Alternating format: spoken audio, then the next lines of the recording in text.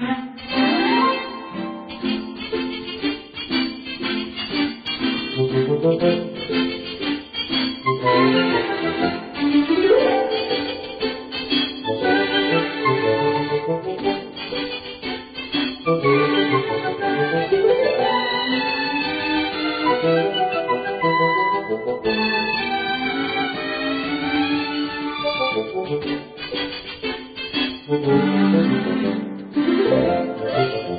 Hi,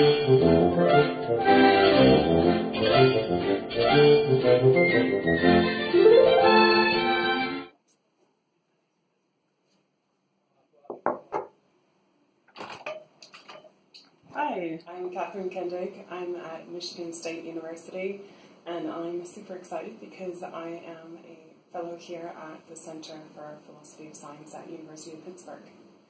Um, I've been wanting to be here as a Center Fellow for ages now. Um, it is kind of like an incubator for all things that you've always wanted to think about, all those little ideas that come popping in when you're teaching. This is where you can actually do them. Um, there's such amazing resources here. Everybody is so supportive. Um, there's uh, reading groups every Wednesday. Uh, we have a center um, lunchtime talk on Tuesdays. Um, and you can uh, sit in on classes. I'm sitting in on a class by Eva Jablonka on the extended evolutionary synthesis, which is amazing. Um, so what I'm working on here, my project, is I'm um, actually I have two projects that are kind of related. Um, and the first one is actually um, based upon uh, based upon um, um, homology, and the second one is based on synthetic biology. Um, they're related because they both have to do with metaphysics, classification, and scientific practice.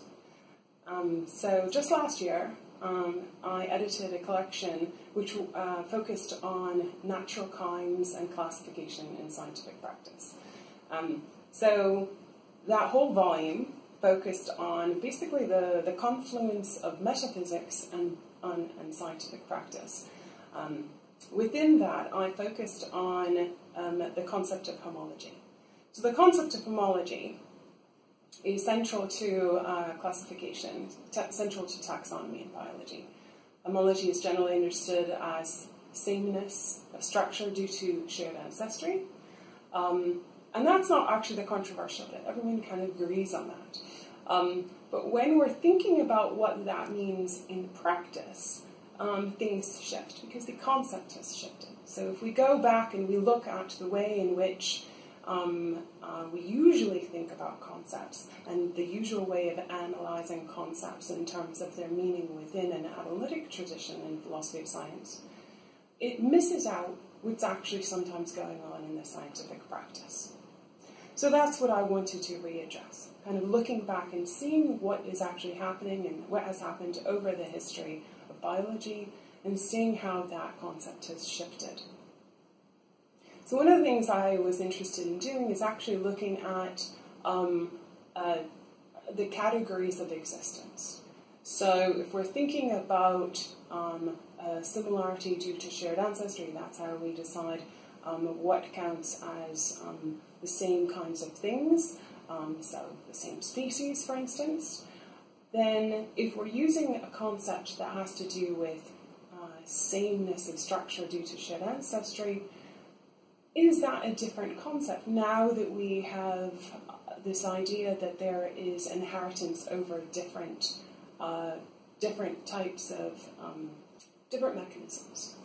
So, in thinking about that, thinking about evolution as a multidimensional process, not just the inheritance of genes, but the inheritance of epigenetic factors, the inheritance of ecological things, ecological niches, like the classic case of beavers inheriting their dam from the, the generation before them, um, as well as cultural factors.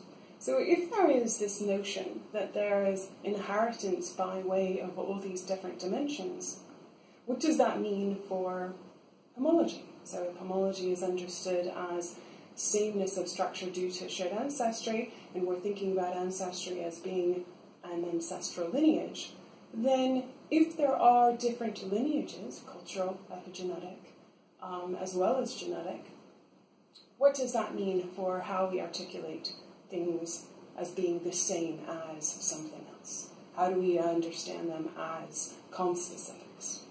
So that's the project um, with regard to homology that I'm working on, and I, I've been working on this for a while, but I needed a chance to have a space in which to work on this, um, and that's what I'm going to be doing at the centre and have been working on in the centre. Um, the second project that I'm working on is also interested in, I'm also interested in ontological categories, basically ontological categories, categories being what kinds of stuff is there in the universe. Um, but instead of working on kind of natural classifications, I'm interested in what could be understood as orthogonal classifications.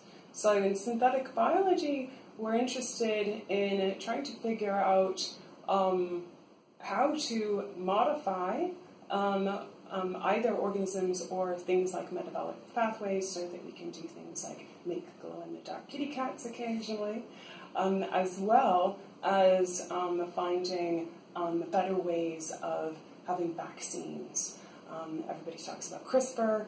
everyone is interested in the ethical implications of these. I'm interested in what are these things? what kinds of things are they? Um, so in, in, thinking about that, um, I look to actually um, a sort of re-engineered metaphysics. So if what we're doing when we're actually making these sort of hybrid organisms, partially um, what would be called um, kind of of the native um, aspect of it, the natural kind of non-interfered with part, and then the orthogonal bit is um, our modification of that using synthetic biology. What are these things? So that project is focused on um, mostly the idea of parthood and um, modularity. Um, that's actually coming out in philosophy, theory, and practice in biology, and it's open access. Um, so both people interested in synthetic biology as well as interested in philosophy can read it. That's a shameless plug, by the way. So anyway, I think I've just way went over time. I uh, haven't even had time to talk about how amazing Pittsburgh is, how much coffee we drink, and how much of an amazing time this is. Um, so I guess I'll end there.